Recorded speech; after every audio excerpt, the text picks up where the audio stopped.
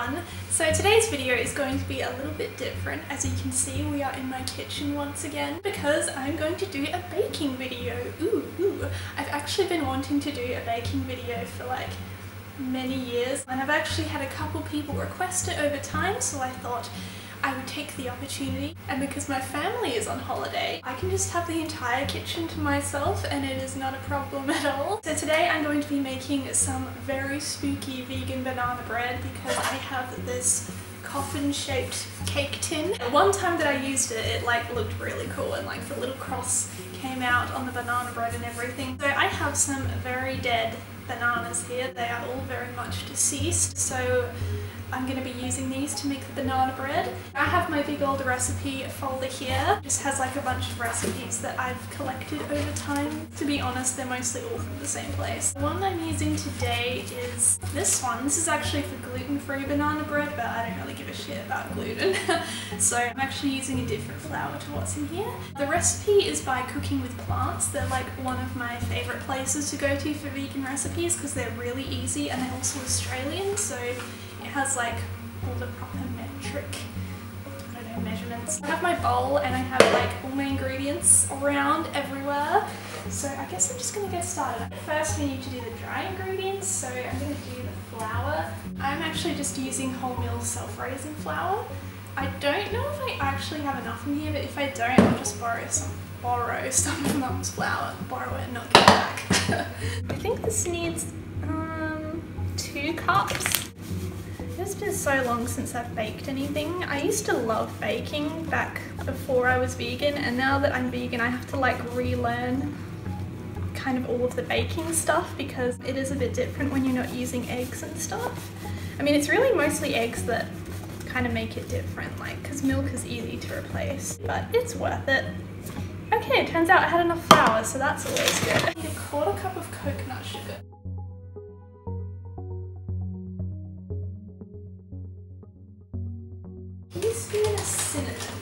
Gonna work? This is all good. Oh yeah, it works. Sort of. I don't really care. I love cinnamon. Okay, a little more than a teaspoon, but that's okay.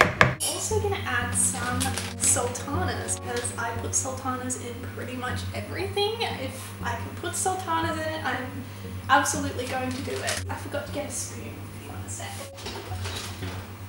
Not quite a spoon, but I got this like spooky spatula with bats on it. I mean, it's spooky baking. Like my favourite thing that I used to bake was orange and poppy seed muffins because I always used to use the oranges that were on our tree at the front and that was my winter baking that I would do since you know oranges are a winter fruit and all that and it was like a tradition and uh, yeah I loved I loved making those. This says you need three small bananas but all of these are kind of large, so I might use like two and a half. I'm definitely going to use this guy because he's really having a hard time. I mean, what even is a small banana? I think I'm going to use two and a half. It's always a pleasant surprise when you think a banana is like really, really close to dead and then it's actually, oh, I was going to say, and it's actually okay that, uh, no, it's very bruised. Never mind. I really don't like the smell of ripe banana. It's just not very pleasant, especially when it's like a banana's been sitting in your bag or your lunchbox for a few hours and then the whole thing just stinks for weeks. Not my favorite thing. See, this one even has like a hole in it because I had this in my bag and then it ended up getting stabbed by the other stuff in there and uh, got a hole in it so I didn't eat it. Look at that. He's wounded. Does that seem like a of banana to you? I don't know. Whatever. Unless like you're one of those crazy people that thinks eating fruit is the same as eating confectionery. Have you heard people say that before? I think this is mashed enough. What do you think? I think that's pretty well mashed. It's kind of disgusting, but...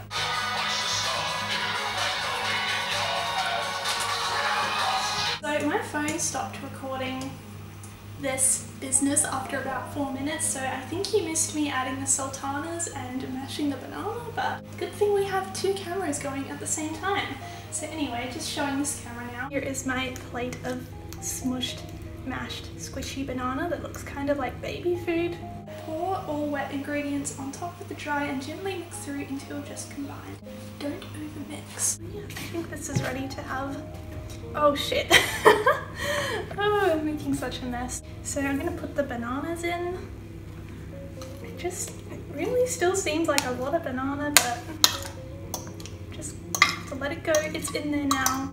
We need half a cup of apple puree. For apple puree, I'm just using baby food because that's it's literally just apple, so it's it should work. Never seem to use all of it up in time, so I end up wasting it if I get a big one. So that is why the baby food comes in handy because it's in such cute little compact jars, you know?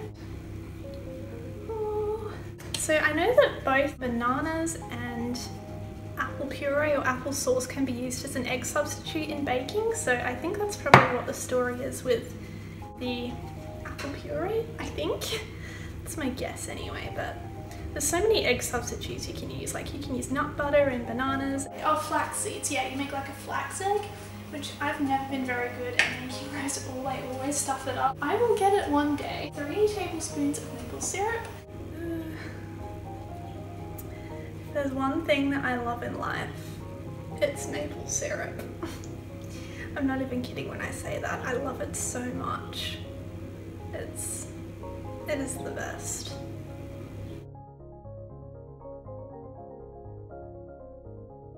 Lastly, I need a teaspoon of vanilla extract. This is actually my mom's, but this is like concentrated. I don't know if you can see that, but it's really gloopy. So my mom suggested that I probably use half a teaspoon instead because it sounds like it's really strong.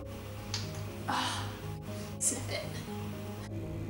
Oh, look at how gloopy that is. Oh my god.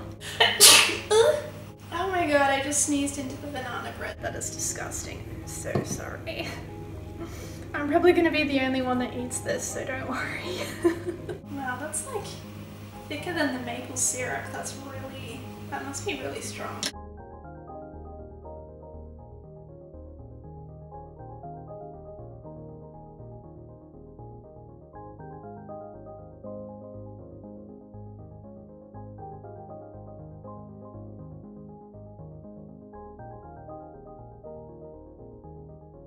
Sure that's done now. So there it is, like all mixed up. I think this is ready to go into the beautiful coffin cake tin.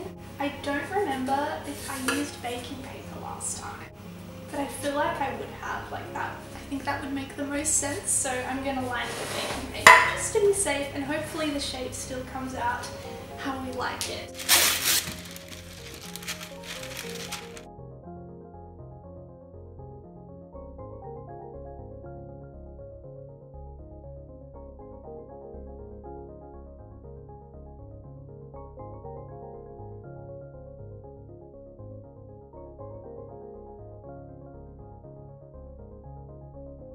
Here is the mixture in the tin. I don't want to like tip it up too much. Yeah, there it is. It's ready to go in the oven. So we're going to put this in now.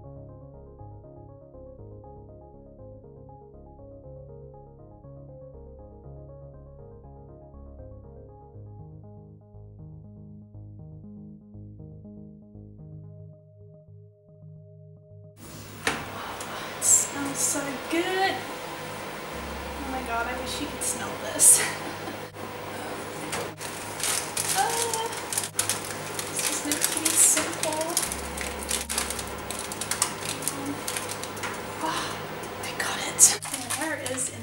so good. Oh my god. I wish I could share it with you guys so you could try it. anyway, I'm just going to check that it's like fully cooked in there. Yeah, I think that's good. Uh, uh, yay! You can still see the cross on it. Look at that. Isn't that so cool? I'll give you like a little close up so you can see it properly.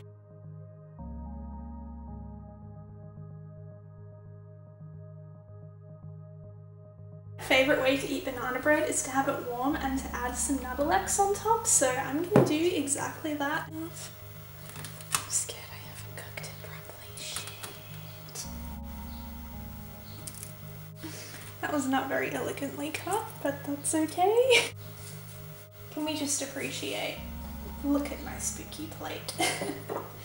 I think it's quite suiting considering the circumstances. I'm gonna add some Nuttelex.